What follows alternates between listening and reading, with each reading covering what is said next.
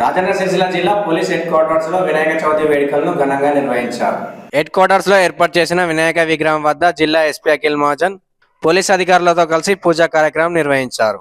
ఈ సందర్భంగా ఎస్పీ మాట్లాడుతూ ఈ వినాయక నవరాత్రి ఉత్సవాలను ప్రజలు భక్తి శ్రద్ధలతో నిర్వహించుకోవాలని అందరూ తాము మొదలుపెట్టిన పనులు ఎలాంటి విఘ్నాలు లేకుండా పూర్తి అయ్యేటట్లు చూడాలని కష్టాలను తొలగించి ప్రజల జీవితాల్లో సుఖ సంతోషాలను నింపాలని మహాగణపతిని మనస్ఫూర్తిగా కోరుకుంటూ ముఖ్యంగా జిల్లా పరిధిలోని ప్రజల్లో ఉన్న సోదరభావం ఐక్యతతో ఎంతో సంతోషాన్ని కలిగిస్తుందని పోలీస్ శాఖ సూచనలు సలహాల మేరకు ఆయా మండపాల వద్ద నిర్వాహకులు యువత పలు జాగ్రత్తలు తీసుకుంటున్నారని ఇదే రీతిలో ఈ రోజు నుండి నిమజ్జనం రోజు వరకు ప్రతి ఒక్కరూ పోలీసు వారికి సహకరించాలని ఎలాంటి ఆటంకాలు లేకుండా నవరాత్రులు నిమజ్జన శోభయాత్ర నిర్వహించుకోవాలని ప్రజలకు జిల్లా ఎస్పీ తెలిపారు.